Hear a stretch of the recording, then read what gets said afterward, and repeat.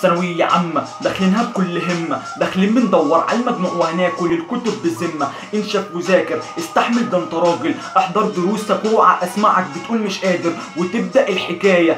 هي دي البداية.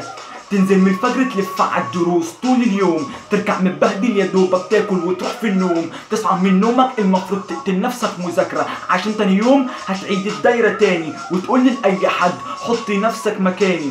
هيقول لك يا ابني ده لنفسك مش لحد. حاطينك جوه طريق مقفول وآخره حيطة سد. ويعدي شهر التاني التالت وانت كويس جدا. ودروسك وامتحاناتك كلها ابتدت تتقل. والحمل يزيد وانت تشد أكتر وتقول أنا عندي حلم وليه أنا لازم أوصل؟ ويعدي كمان شهر اتنين تلاتة الوقت ما فيهوش بركة. وكل شهر بيعدي حلمك بيقل درجة. والنفسية للأسف صفر في المية. وبتوصل للدرجه إنك تستغنى عن حلمك. وتقول أنا نفسي تخلصي ده الجامعة ارحم لي منك. بس صدقني الجامعة مش راحة ولا حاجة.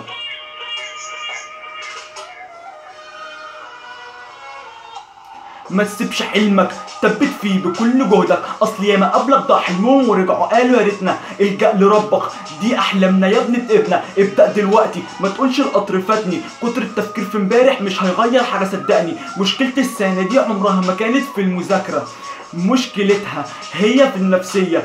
وانت قلبك يا ابني بين ايدين ربك. الجأ له دايما وادعيه وتقول يا رب. ربك رحيم وجيب كريم ما بيرفضش الطلب. ومهما كانت النتيجة اوعى يا ابني تزعل. دي مجرد خطوة في طريق حياتك لأجل ما يبقى أسهل.